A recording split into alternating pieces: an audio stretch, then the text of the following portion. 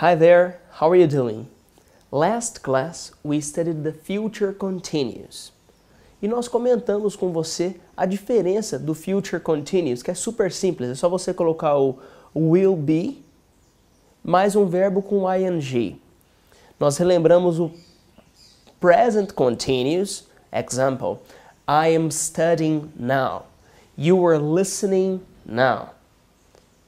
Lembramos o past continuous, que você vai colocar o verb be no passado. I was talking to my family yesterday. They were traveling to United States last year. We were having a great time. O que, que é isso? Nós estamos colocando o verb be no passado. Fica was ou were. E o future continuous também é simples assim. Você vai colocar o verb be no futuro. Vai colocar will be, que é vou estar ou vamos estar. In Portuguese, this is incorrect, né? I will be doing, eu vou estar fazendo. Perfect in English. In Portuguese, incorrect, é chamado de gerundismo. But in English, uh, they will be working. Eles vão estar trabalhando. They will be studying. Eles vão estar estudando. E agora nós estudamos o future perfect que é a mesma coisa da estrutura do present perfect, só que no futuro. No present perfect, a gente falava I have uh, lived here for a long time. Eu tenho morado aqui por muito tempo. I have gone to their home every day. Eu tenho ido à casa deles todos os dias.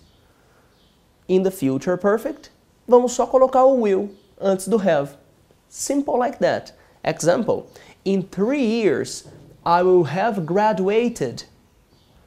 Em três anos, eu vou, eu terei me graduado. In five years, she'll have visited many countries. Em cinco anos, ela terá visitado muitos países. Uh, next year, I'll have gone to many different places. Ano que vem eu vou ter ido a muitos lugares diferentes. Now, remember, present perfect. I have, o, o verbo no participle, I have been, eu tenho estado. I have gone, eu tenho ido. I have forgotten, eu tenho esquecido. E quando você vai colocar ele no future, é só colocar o will antes do have. I will have been eu vou terei eu terei estado. I'll have gone. Eu terei ido. In five years, will you have practiced your English?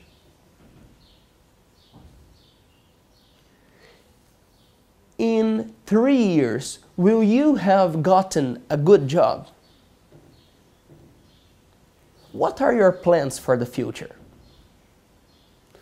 Comment about your plans. Enter on our website and do the exercises related to this class.